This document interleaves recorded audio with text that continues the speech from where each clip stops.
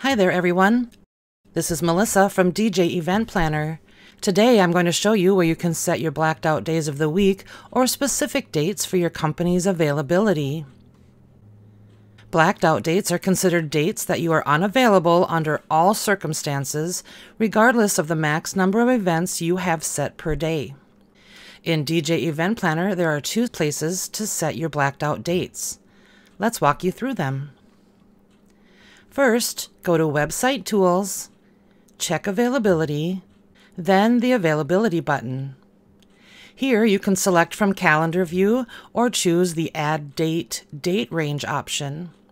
Let's start with the Select from Calendar View.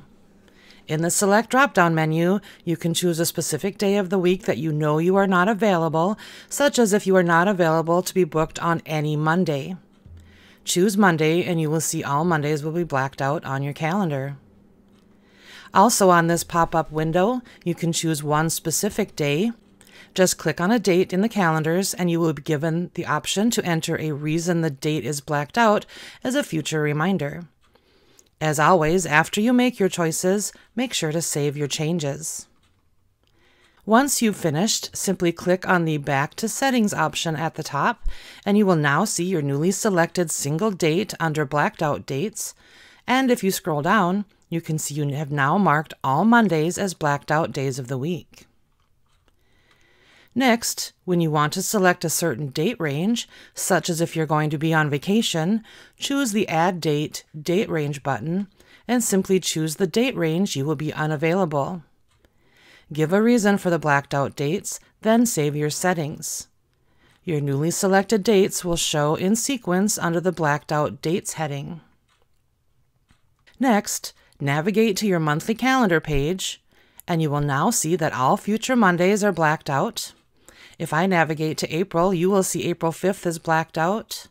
And if I go to September, you will see the newly added blacked out date range. While on the monthly calendar dashboard page, you will find the second place that you can choose your blacked out dates. On the right side day panel, look for the Check Availability drop-down menu. Then select Edit. You will see the same options as you had in your website tool check availability settings. Follow the same information as I showed you earlier and save your settings. If at any time you want to delete or change the options you've chosen, simply click the Delete button on the date you want to remove or uncheck the specific day of the week.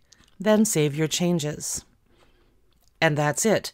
A very simple process to select your unavailable days or dates as needed for your calendar. If you are seeing this video and have not yet signed up for our 30-day free trial, please do so at djeventplanner.com.